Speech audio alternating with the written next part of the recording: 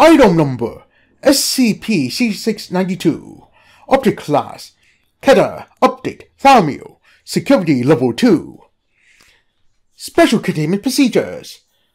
Research and investigation into SCP-6692 manifestations are ongoing. Verbal or written orders that contain terms such as missile and small arms are to be resented and altered to prevent potential collateral damage to Foundation operations. Description SCP-6692 is a series of semantic manifestations occurring throughout Site-81 and Site-118, which predominantly affect words pertaining to weaponry, rendering them ineffective when commanded either verbally or through written documentation.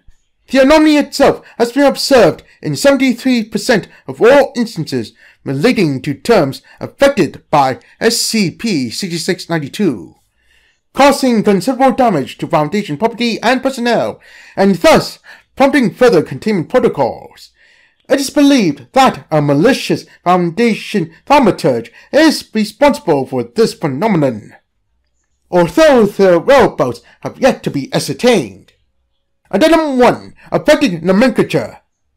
The following words have been discovered to be affected by SCP-6692 and recommended changes to be made when these words are not in use. Affected word Missile. Recommended change Armed projectile or a hit tile.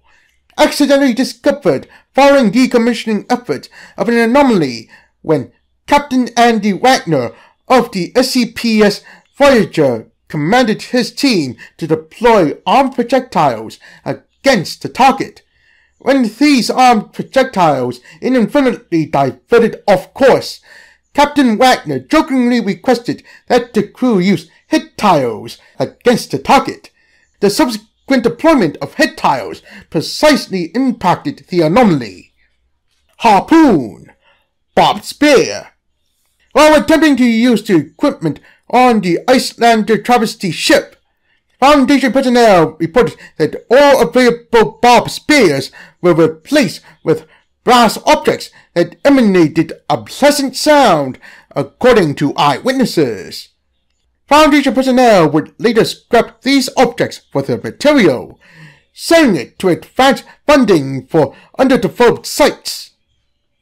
Boomerang Zone 2 referred to anomalous Effect 6691-1.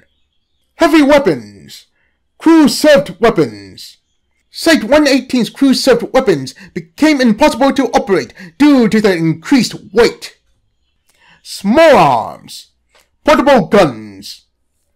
Ordered by MTF Epsilon 35, Ballbusters, Squadron Leader Andy Charles, MTF agents reported a drastic alteration to their arms and body, with measurements reporting that the arm span of all MTF Epsilon 35 members have shrunk over 40%. X-ray scanning indicated that the muscular and bone structure of these MTF members had strengthened immensely. This process is currently being used as a physical enhancement for MTF members. Assault! Aggravated attack!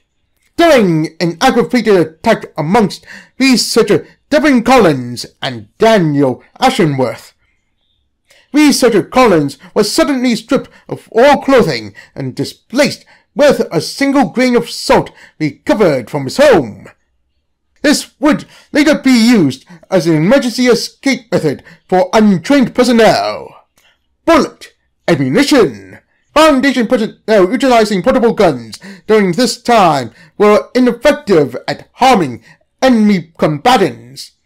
All stray rounds would later impact a nearby cattle farm, in which a single bull was reported as the sole casualty. Firearms, guns or weapons. Foundation weapons specialist J.A. Lee Ted's arms were officially posted to the master list of employees and subsequently removed. Standard surveillance pay was administered to both arms for the service. Bazooka, rocket launcher. While attempting to use the rocket launcher, MTF agents were unable to fire projectiles from the weapon. Instead, large beehives were ejected. Of note was the considerable buzzing sound that emanated from the weapons themselves. Foundation personnel would later find this effective as a sabotage method, allowing enemy combatants to take defective rocket launchers in order to use against the Foundation. Light weapons. Non-portable system. During a requisition request by MTF Mu 9, Mission Possible for backup as they only had man-portable systems. The density of all Foundation supplied weapons to the MTF immediately decreased despite their mass and floated into the atmosphere. The weapons have not been recovered. Mission HIN Foundation databases reported a 96% increase of successful MTF deployment following the introduction of the newly suggested word.